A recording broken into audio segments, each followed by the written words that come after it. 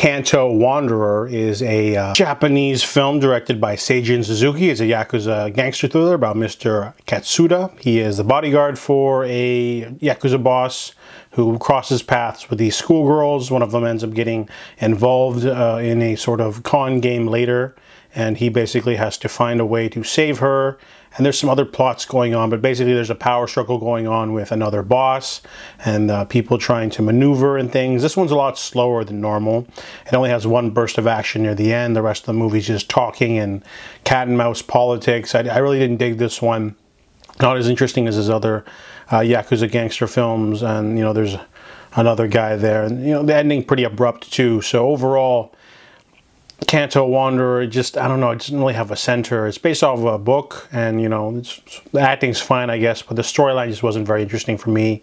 I just felt this one was a little bit loose, and um, most of it was talking, and then, you know, that you get your little burst of violence at the end, uh, and then, you know, one big showdown at the end doesn't really carry the whole film. So overall, Kanto Wanderer, uh, you know, I watched it simply because it's a Seijun Suzuki film, but I really didn't dig it. So I give Kanto Wanderer a 4 out of 10.